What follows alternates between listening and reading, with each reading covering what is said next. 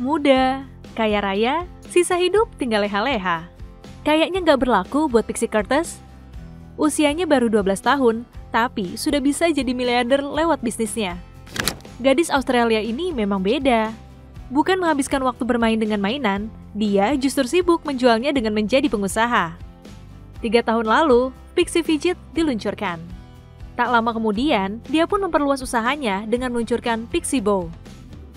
Usahanya pun berkembang pesat, menghasilkan pendapatan yang luar biasa. Bahkan, pada 2023, penghasilan bulanan Pixie mencapai 2,1 miliar rupiah per bulannya. Kesuksesan finansial ini membuatnya menjadi miliarder sejak masih duduk di bangku sekolah dasar. Ya, kini kekayaan bersihnya diperkirakan mencapai 194,1 miliar rupiah. Wow, bukan main. Pixie telah merasakan kemewahan yang tak semua anak impikan. Pada ulang tahunnya yang ke-11, dia dikabarkan menghabiskan sekitar 431,88 juta rupiah untuk pestanya. Waduh, the real crazy rich nggak sih? Mengenai kesuksesannya, Pixie Curtis mengakui kalau dia memang bayi nepotisme karena dibantu ibunya untuk menjadi seperti sekarang.